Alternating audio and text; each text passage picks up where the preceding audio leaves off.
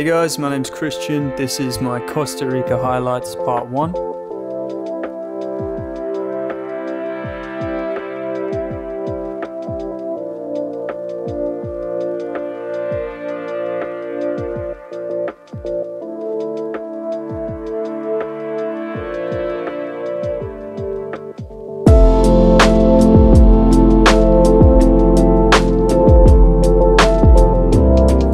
This was our Airbnb for the first couple of nights. It's called a yurt apparently. I've never heard of it before, but it was amazing to stay in.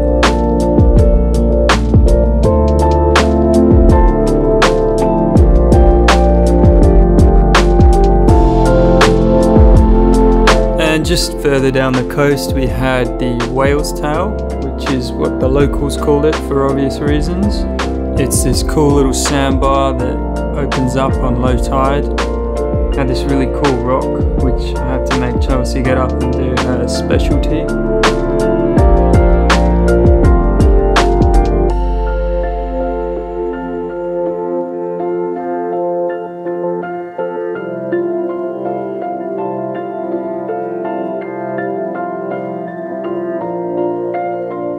And despite coconuts being about $2, I decided to climb a coconut tree and get one for free.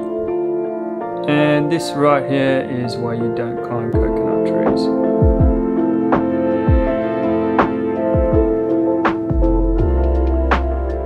And then I figured I'd go full caveman and try open one using just a rock. Chelsea thought I wasn't working hard enough, so she gave me a mini champagne bottle to open as well.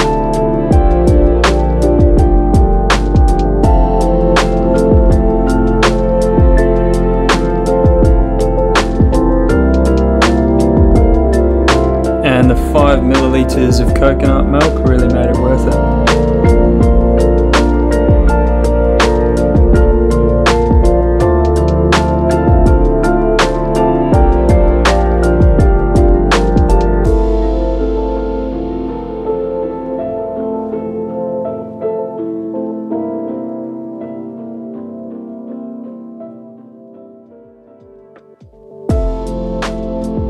So the next morning we drove over to our next destination.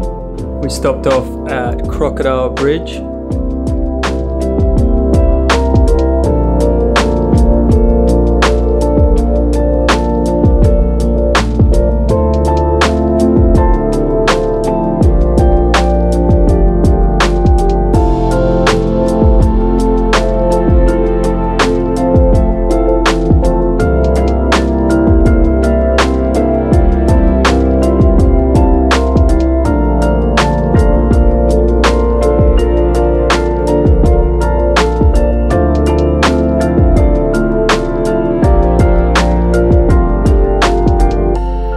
We couldn't resist but get another handstand shot with this beautiful sunset in the background.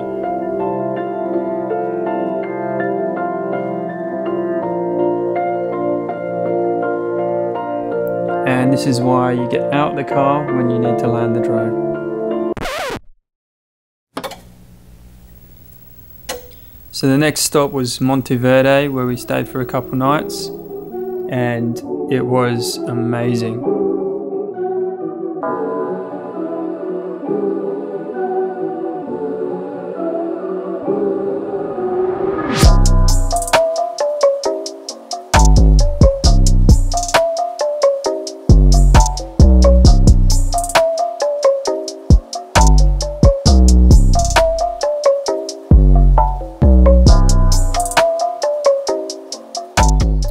Christmas Day presents, we decided to do some bungee jumping.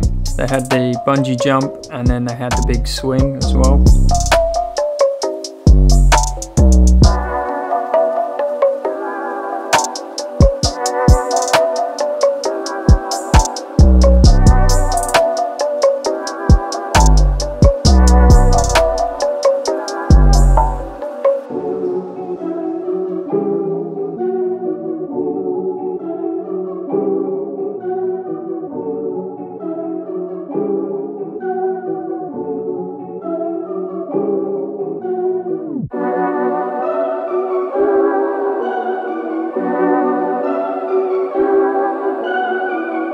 Then we stopped off at La Fortuna Waterfall. Don't rip me if I didn't pronounce that correctly.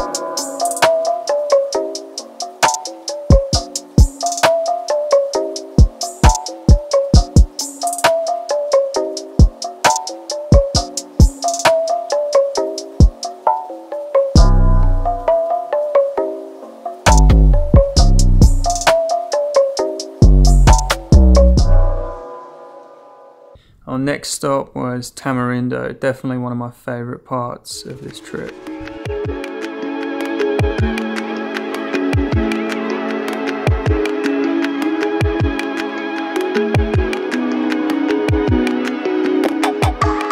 If you're ever in Tamarindo, I really recommend this company. They do group and private charters.